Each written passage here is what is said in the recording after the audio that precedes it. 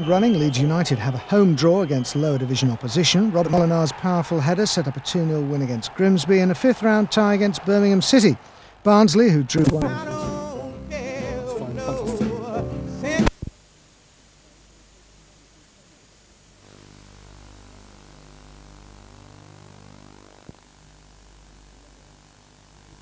Lucky to escape from a trip to the Lions' Den in London with your life, never mind three points, but injury and illness rendered Millwall toothless yesterday. Steve Livingstone's looping 23rd minute volley settled it, a well deserved victory for Grimsby.